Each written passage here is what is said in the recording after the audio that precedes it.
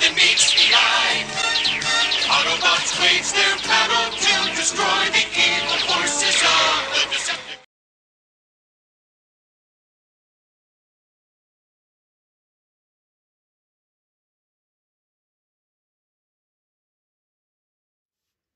Hello everybody, this is Toys are Russ and for this special figure showcase we're going to be looking at the 1988 Series 5 Autobot Pretenders.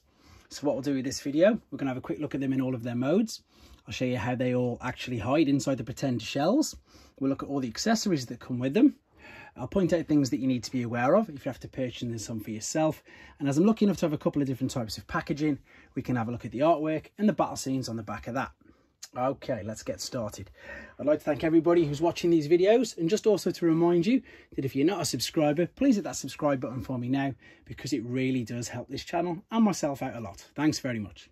So, let's start with the left-hand side. We've got Cloudburst. In the middle, we've got Wave Rider, and then to the right, we've got Landmine. Now, the reason why I've got these three, and again, I know I sound like a broken record, and I apologise to everybody else, but in the UK, these were the only three we got in 1988. That's correct. So we didn't get Groundbreaker, we didn't get Sky High, and we didn't get Splashdown. I don't know what the reasons were, but we just didn't get them. These were the ones that we had. Now, at the time, I was pretty much I was still collecting Transformers, and I've mentioned this on a few of my other videos, but I wasn't overly impressed uh, with this particular line. But now, being an adult, looking back at, them, I suppose you've got a bit more of appreciation for them because there's quite a bit of, you know, engineering gone into the fact that they can actually fit a little robot inside the shell. And what I'm going to do now is just pretty much show you exactly where that is. So all these three robots, they've all got the same uh, basic principle and basic sort of accessories. So we've got the shell at the back where we can just carefully pull apart. And then there's space there where you'd get the robot. I'm not going to fully do it, but you get the robot. You can fold the arms back, fold the toes up. If I take this out quickly, in fact, I might as well while I'm here. And turn him around. There we go. And then he fits inside the shell. So, very basic. Um, I think it looks quite quite cool now, as I say.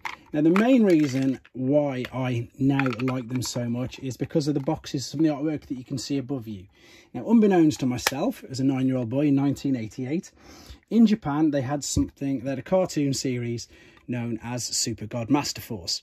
Obviously, the cartoon, the Sunbow ones, had finished in the UK and the US way, way before that.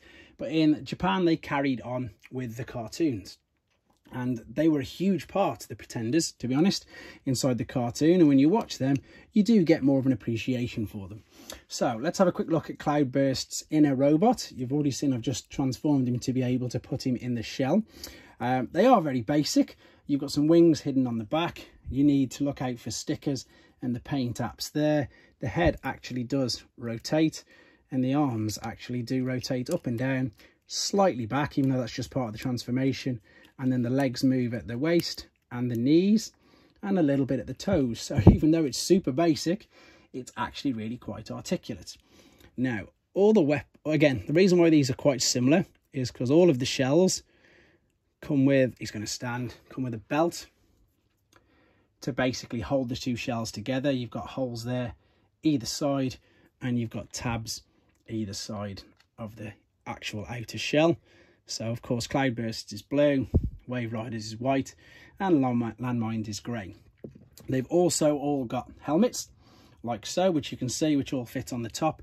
And to be honest, these are probably the bane of most of these figures, because when you put these on, it will 90% of the time, and during time, damage the back of the shell. See that there? We've got paint removed from the back, where the helmet's held on. So that's something to be aware of, and it happens a lot with these figures. Um, they also then come with a weapon for the, yeah, for the shell and then a weapon for the actual inner robot. So with Cloudburst, it's the long whip, which you saw me take out first. So I'll just attach that back in. This can get broken quite easily, to be fair, damaged and snapped. Um, I'll clip the belt back on while I'm here. You can just see exactly as I said, it'll fit over these tabs like so. And then you've got another weapon, which can be held by the little robot. With the Cloudbursts is this, so you've got the small dowel at the bottom, which can go in the little robot's hand, or the bigger dowel under there, which can go in the large in the shell's hand. But the other thing is, this weapon also doubles up for when it's in the other mode. I'm just going to pop it as a gun in the inner robot's hand for a start. And then if we look at the transformed, transformed, transformed uh, mode of Cloudburst, you can clearly see we've just folded the legs back up, turned the head around, folded the feet flat, and then pulled them wings out the back. This is the weapon, which I've just put in his hand. I've now attached to the bottom. And you've got quite a cool little alternate mode there, even if it is very, very basic. There we go. Right, before we move on to the others, let's have a look at some of the packaging because you might find this quite interesting. Before we get there, here's the instruction book. So you've got the new font of Transformers there. You've got the inner robot, and then it's all black and white, and then it's red spotted because it's Autobots.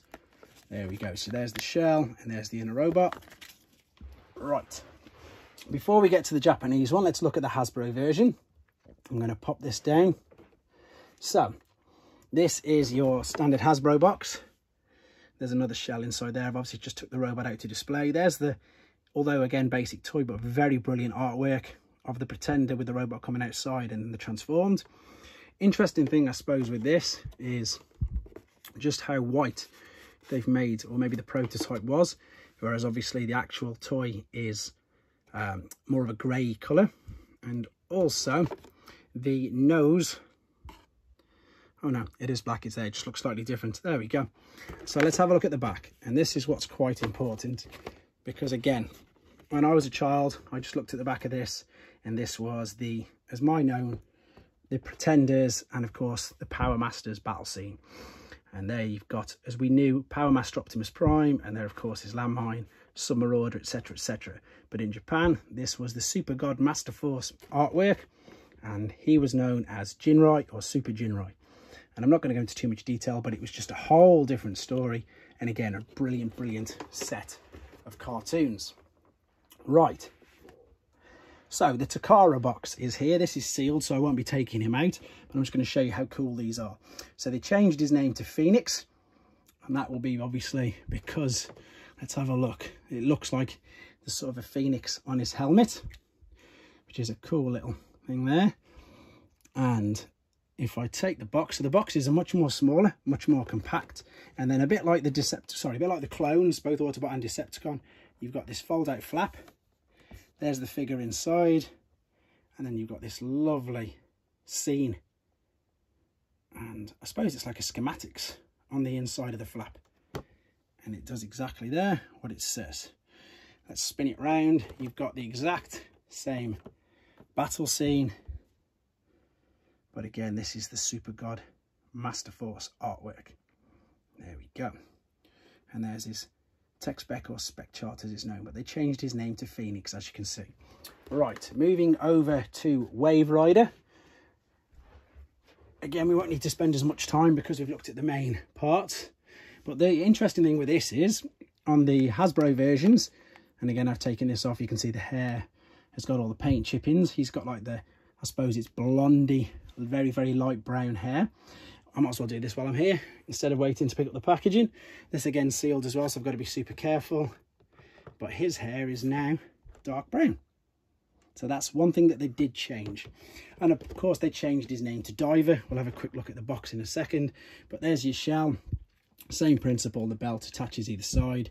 You've got an axe, the larger weapon for the Pretender shell. That gets damaged so, so easily on the main handle. I've seen that damaged so many times.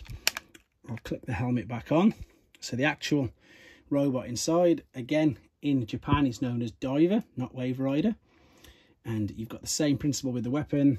This weapon can be in the small hand with the dowel there, large hand there, and you can attach it to when it's in its vehicle mode in a second. So there's the robot.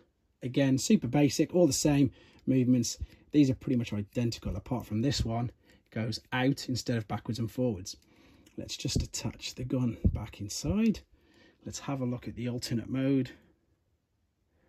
There we go. So as I've said, instead of the legs folding back, they folded around the side.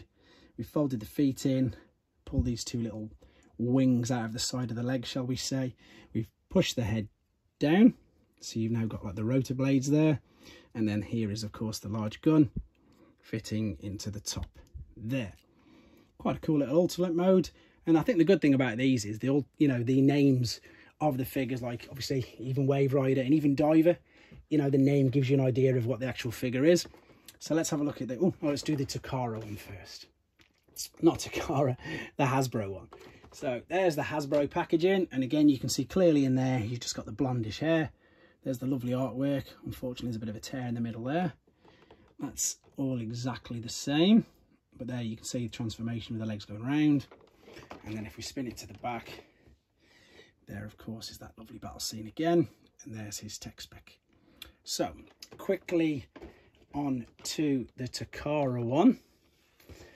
And the Takara, again, was the Japanese version. The numbers on these, by the way, you've got C, which stood for Cybertron. 203 was its corresponding number. 202 was uh, Phoenix. 200 is Diver. And 201 was Metal Hawk. I've done a video on him. He was a Japanese exclusive. But let's have a quick look at this again. There is the lovely fold-out schematics and picture stroke artwork. And there is again, you will see he's got different coloured hair. Lovely. Right, before we move on to Lander, because there's a couple of stories about him, I've got another Wave Rider box, but this is a French and Dutch dual language one, hence the language underneath there. So these are exactly the same. There's nothing any different. It's just the language used on the box you can see there. And of course in the tech specs as well. There you go. So that's, as I said, French and Dutch dual language. Right, so let's move on to Lander. Uh, sorry, I'm calling him by his Japanese name. Landmine. And yeah, the reason why I was calling him Lander and the reason why he's a bit special is in Japan, he was a mail away only figure. So you had to, like with the robot points and like with the Omnibots and Reflector and stuff in, uh, you know, the US, etc. That's what you'd send off for. But for them in Japan, you could send off for this guy. This guy was called Lander in there. He's got a large sword. Again, he's got the large belt, which holds the shell together. And of course, he's got the helmet as well. All exactly the same. Now, the good thing about this is I've got one which isn't the greatest at all, but it's a perfect example of how sun fade can affect and damage your figures. You can notice that straight away, the yellowish fading, well not fading the yellowish. It looks all dirty and grimy doesn't it? That's and this is incredibly loose joints. Watch this. There you go. So this guy's had a bit of play play time in his in his history. But this is the robot. Again quite cool really. Looks really good. He's got this weapon which there we go. You've got you can hold it on either the two little dowels or the large dowel there. And again for the articulation shoulders move all the way around and this one as you've seen the legs move back. This guy's got some wheels on him though so let's see if I can get him to stand up. Obviously with the weapons forward it does make him a bit top heavy so you can attach that there and then of course fold the legs back as well like so with the arms up so there's his alternate mode quite basic but it does what it says on the tin and again perfect example there of what overplayed with and sun faded figures can look like. So let's have a look at this. So the Japanese instructions, instead of being the fold out, there these fold out as a square. Everything else on it will be exactly the same. Just showing you the pieces that you've got. There's literally nothing on the back, which you can see. And then the box, this one's opened. But there we go. So you've got number 200 and here's Lander it's a bit sun faded, but as I've just said, it is a mail away only figure. And nothing else is any different. They're all exactly the same. There's the transformation. There we go.